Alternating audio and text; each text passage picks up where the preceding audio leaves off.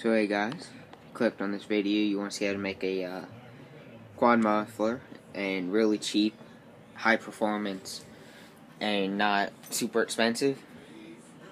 This is uh, my Kawasaki Mojave I've been rebuilding. As you can see the exhaust or muffler has high damage on the mounts. Fell off actually pulling my quad back together. So I tried to fix it with weld on that edge. And I really just didn't want this boat anchor on it anymore. Just, just my quad sounded like complete crap with it on. So I went on eBay. I was looking for stock ones, and that's for my reverse. But I was looking for a stock exhaust. Everyone wants like 80 bucks for a stock one, and high performance ones, slip-on ones, are like 200. Even though I didn't want to use a slip-on or anything special, because that's more expensive. And I have the DG exhaust on my tractor, which would work perfect, but I don't want to do that. So, eBay, I typed in like muffler slash exhaust, and this came up. These are for like racers and uh, tuner cars. This just slips on the end where the stock muffler goes, and this is the output. It's cheap, it's 30 bucks. 4 inch output glass pack, 2.5 inch input, 30 bucks. Why not? Shiny. Why not put on a quad? Because high performance exhaust is basically just a glass pack, and they're smaller. This is a nice bigger one. And instead of 200, spend 30, and you get a car muffler. It has this removable silencer, which rattle around, that's going to get taken off basically, the main idea is take this, have your sock one. If these weren't rusted, you'd cut them off and mount them on that. I'm gonna make all new ones. But what I'm gonna do, I'm gonna take this, cut this whole cap off of the back of the muffler, and basically go from there.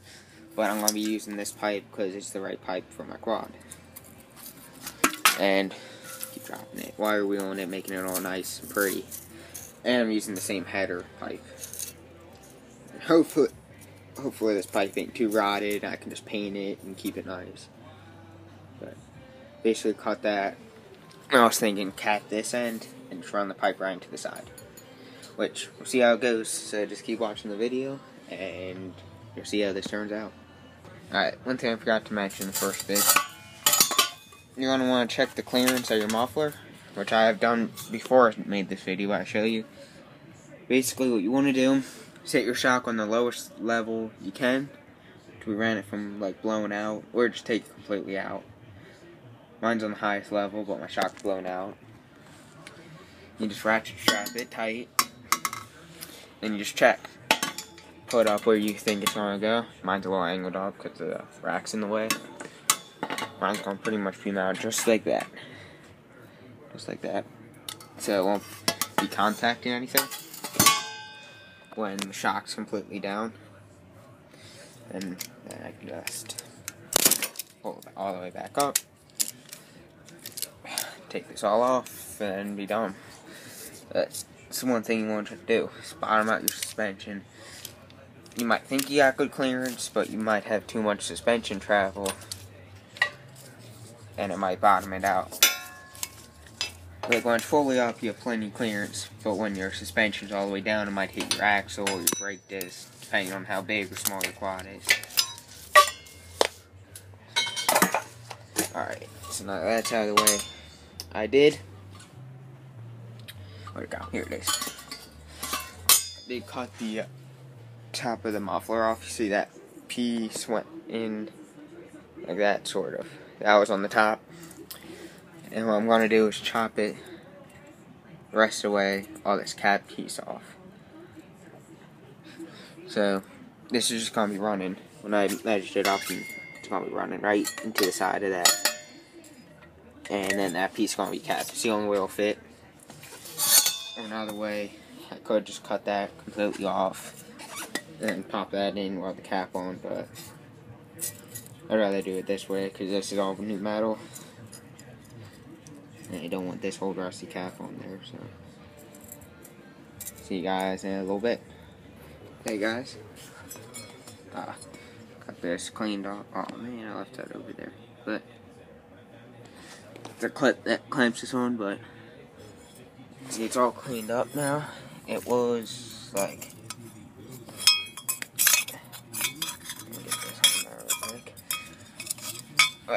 On like that. Then I clipped it out a square of it, and then I just got a flap disc. I cut out with this, alright? Then I got a flap disc, and I cleaned it all up real nice, so I, I can just chop it wherever, probably right around there. ah, sorry about that. But, I'm gonna chop it somewhere around there where the grinding is at an angle, as you know, with a hole saw, so match that contour. So then all I have to do is drill a hole in the side and weld this on wherever it goes and then put a plug on the end of it. But yeah. At first I was going to use that muffler. Why is my hand shaking? That muffler up there. That a trash pick, but it's too big. Way too big. God, why the fuck? Alright, whatever.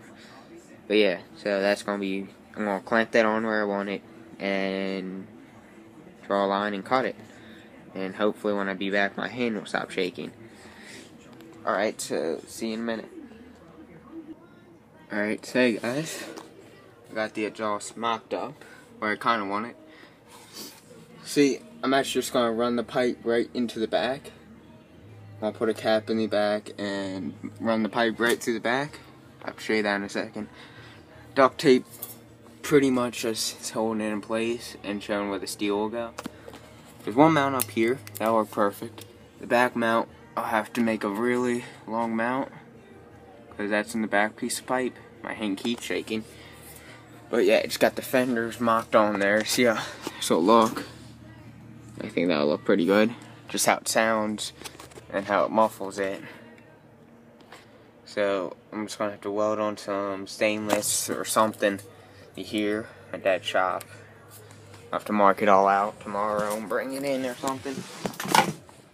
But may, maybe I would like to bring this, bring my whole quad there, work on it.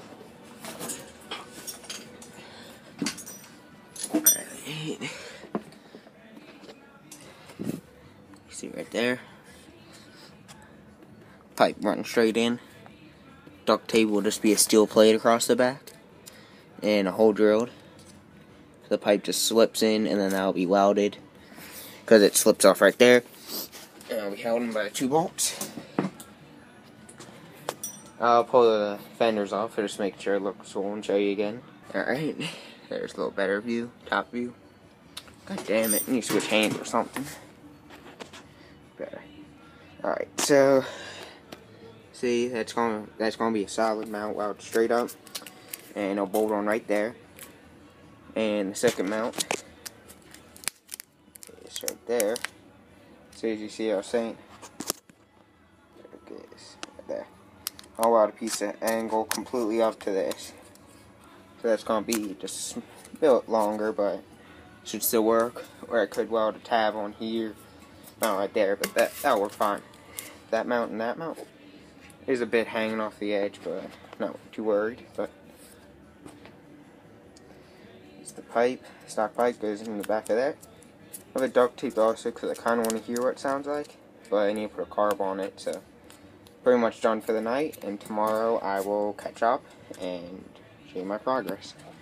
Maybe how it sounds if this duct tape don't melt within like five seconds. Alright, so uh, see you in a little bit. Okay, I'm back. So what you're gonna need to mount your exhaust is I got some I'm just gonna go ahead and say inch and a half flat stock. Mm, inch and a half by something probably a little thicker to be welded onto the stainless steel piece, but fake stainless, it's magnetic. But you're gonna it's gonna get back to you in a minute, but you gotta cut it, drill the holes and all that, so yeah. Alright, say I'm back. Now, basically, cut out the hole to the size of your mounting, and then you just basically measure it up and weld it in place. That one's pretty easy. But for the back, see I have the uh, opening right there. So that's to be placed up higher like that. Basically, I just did. I started out using a, uh, this is two and a half inch input. Where's my hole saw? Whatever. I started out with hole saw, and then it was dull, so I didn't cut it. And then use a, what I use? One and an eighth, I think. You draw out the hole like off-centered to fit the pipe in. And then I just had to grind this out. If you had a hole saw, that'd be better. But you do half hole saw, the big hole, and then you just do that off-centered. And then you cut out the hole saw, or the hole again, the disc. And you see, slides right on. Might need a little grinding. Yeah, don't need a little grinding. But that just covers that. And then that'll be welded right in there. So, that worked. Alright, see. What? Stand back. So, this is basically the finished product.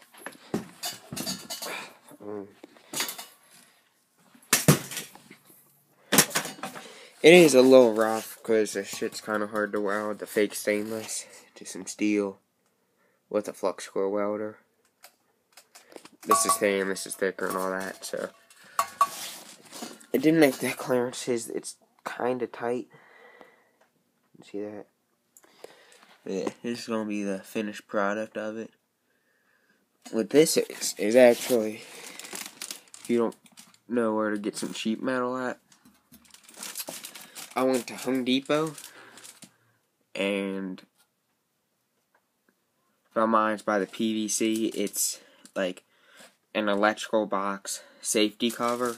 There's a sheet, the galvanized sheet that you can put over stuff, over like electrical boxes, and they're like two dollars or so, sixteen gauge. So that's what I used. But I ground the galvanized off before I cut it, so didn't have that problem. But I'm gonna take this muffler off again without you guys seeing it. I'm gonna uh what is it, grind the weld, make it look a little nicer. And I'm gonna be painting the whole exhaust except for the tip because it's got splatter all over it. I sand all that off, clean up all that. So it's just the tip's gonna be still the stainless, so that doesn't have anything wrong with it. So yeah, I would tell show you what it sounds like but sadly my quad's not running right. It I tried starting it yesterday and it was having a problem, so it wasn't really even running. So it sounds cool. It's just basically a glass pack, but it's bigger. So so I just thought I'd share with you how to do that. This is my first time trying to do this too. I was looking on Craig eBay for exhaust and all that, and all that problems. Thirty bucks for a brand new car one, so whatever. So I might be back. Might show you the painting, probably not, but whatever. All right, so comment, rate, subscribe, guys, and you'll see more quad about this Kawasaki Mojave on my channel. So see you guys later.